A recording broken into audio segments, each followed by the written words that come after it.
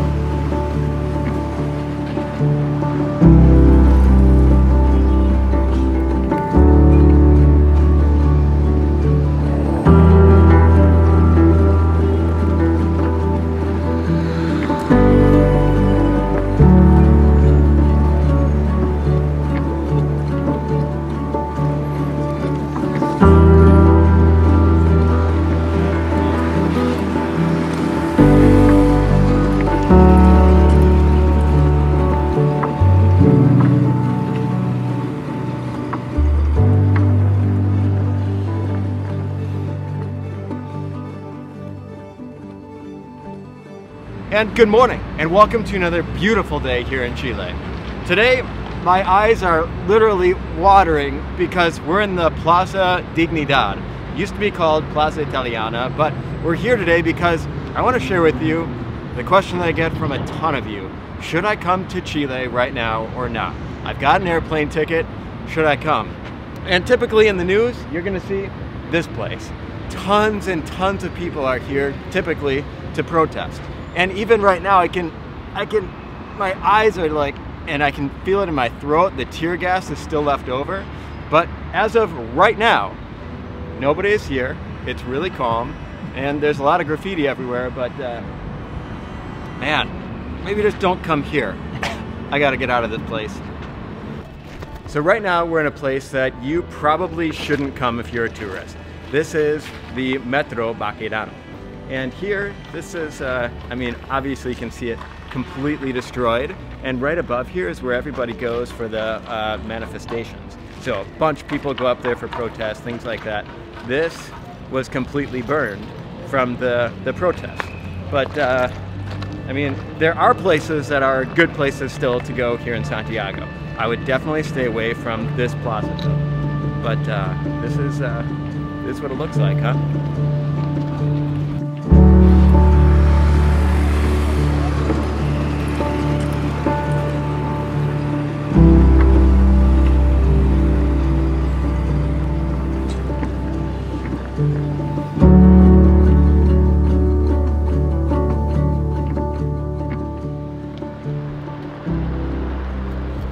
But those are the places that I wouldn't recommend, and it's really limited to a specific part of Santiago. So just be careful around that plaza area, Plaza Italiana, or as they call it now, Plaza, plaza Dignidad. But uh, what about the really touristic places, like uh, like this place? See that hill up there? That's that's tourism. So this is where you typically ride the gondola up to the top of the Cerro San Cristobal, but uh, it's all closed off. Which this is a massive tourist place. Like you come here, you go eat, and then you go up to the top, and it's really beautiful. There's a zoo here that I've gone on, gone to with other people, but uh, at least for today, it's closed. And you're going to run into that when you come to Santiago. That some places are going to be closed. But the beautiful part is that there are a lot of restaurants that are actually open, but you're gonna see this, I think fairly frequently, unfortunately, right now at least. But another popular place that I like to bring tourists to, people who come to visit us, family, friends, things like that, is the uh, Cerro Santa Lucia. And this just has an absolutely beautiful view of the city. And here it looks pretty normal. Everything is open, no real problems, lots of tourists yet, and uh, everybody looking at this beautiful view. Not me, but what's back there. Time out for just a second. I'm uh, I'm in another country right now. I'm in I'm in well, we'll get to that in the next video. But here, there's protests going on right now. It's like 7:30 in the morning, and there's a massive countrywide protest here that starts super early. And it just made me think that in Chile, there's no way that you're going to start a protest that early in the morning. Usually they start later on in the day, so make sure that you check online. Usually it's going to be like, I don't know, no earlier than noon, I would say, but typically around 4, 6 o'clock at night until, I don't know, maybe 10, 11, 12. So just be careful at night. But mornings, in Chile at least, are really pretty, I mean, in general, pretty calm. All right, it's really loud here. So back to, uh, back to the story. Just wanted to, to add that. So now many of you are left with the decision.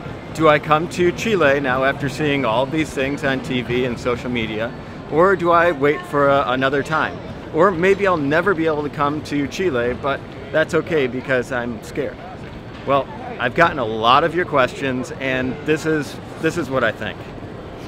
So if you're up for an adventure, I would 100% say, yeah, go for it. Like come here to Chile and you'll be fine. What I would recommend you doing is staying away from the areas that are going to have the, the people protesting, obviously.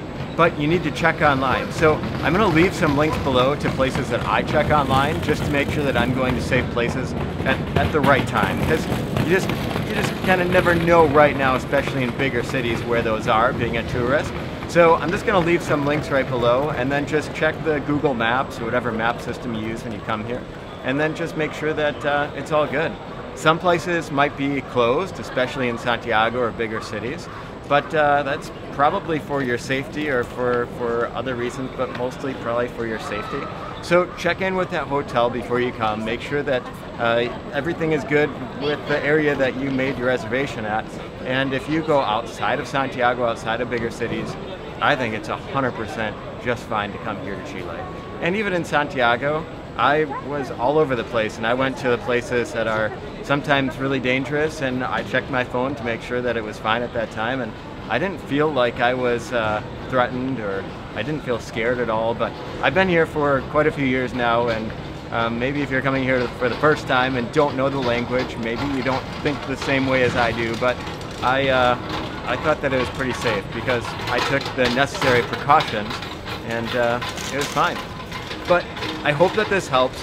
And uh, this is a big topic that I don't think is going to. Uh, camera almost dropped. I don't think it's going to go away for a while. And uh, stick with me, and uh, we'll see how it goes. I don't really know what to tell you guys right now, but I do know that if you're planning a trip here to Chile, I, I personally wouldn't cancel the trip. I would come here. I would do it. I like adventure. My family is here, and we have a little boy, and he's perfectly safe. But I'm at the airport now, so uh, you'll have to see where I wind up next. Hope you enjoyed the video. If you did, please give it a big old thumbs up. Check me out on Instagram, Facebook, and Twitter. All of those links are, are right below, and we'll see you guys next time. But for now, time to, time to go through security and jump on a flight. Ciao, pescado. And one last thing before I jump on this flight. Huge thanks to Touche Films. I'm going to leave his link right below for helping me with this video today.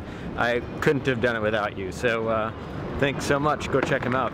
It's pretty amazing stuff that he does. So uh, just thanks. We'll see you guys next time. Here we go. Any guesses as to where I'm going? Check me out on Instagram to find out.